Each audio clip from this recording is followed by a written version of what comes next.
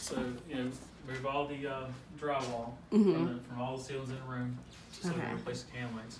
What's gonna be under there? Like if I like. It'll just be some beams. It might be some insulation that might fall, but if Oh, okay, okay. we'll put it back. It'll be uh, it'll just be exposed beams for your floor above. Okay. Okay. Okay. So it'll just it'll just look like this, but, Mhm. but vertically. And I could safely walk upstairs. Oh yeah. Okay. Okay. So you're not talking about like taking any. You don't want to remove any lumber Okay. We'll no take- lumber. because Got you don't know what's supporting what. So Got it. Okay. Just uh, drywall and paneling and door trims is what you want to remove. Definitely. So just make sure you're careful around the uh, HVAC and Yes. the lights.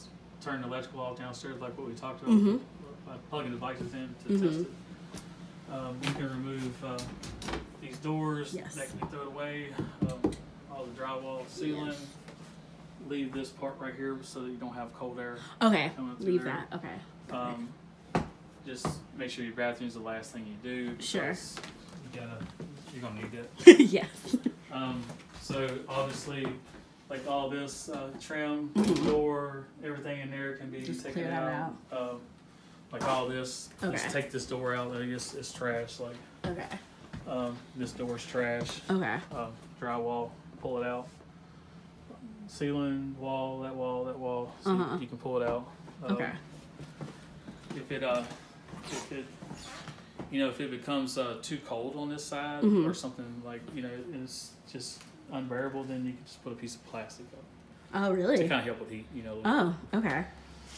Um, and then we can also, if it gets too bad, just you know holler at me. We can come in and shut the heat off and there kind of push it different Oh. direction. Okay. That's good to know. I didn't know that was a thing. Yeah. So obviously the drywall, Mhm. boards, drywall. What about so like this drywall too? Yep, it's okay. gotta go. Okay. And this this ceiling. Okay. uh, drywall, anything that you can pull down. Like it don't necessarily have to be clean around the lights because we can get that once we remove it. Sure. But uh, just get you know.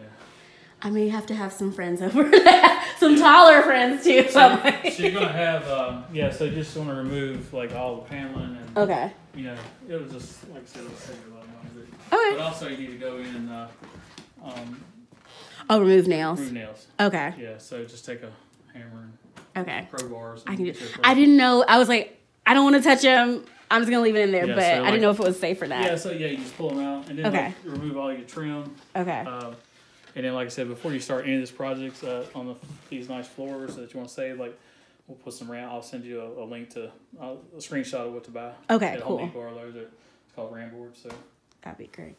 Ooh, and I can Um, get that tomorrow too. so yeah, I mean, like uh, like it is all the paneling, drywall all the way around. Mm-hmm. Um, just uh, gonna want to put some uh, because your curtains are about to come down, so you might want to put some.